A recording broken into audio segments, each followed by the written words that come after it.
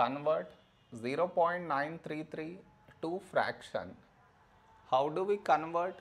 See, given is 0.933. To convert this to fraction, for that we have to move this decimal after 1, 2, 3 numbers. To move this decimal after 3 numbers, for that we have to multiply it with 1000.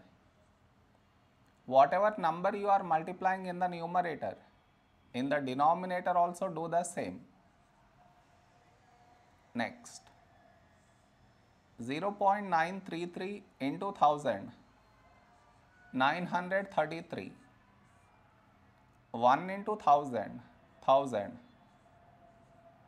This cannot be simplified any further. So, this is our fraction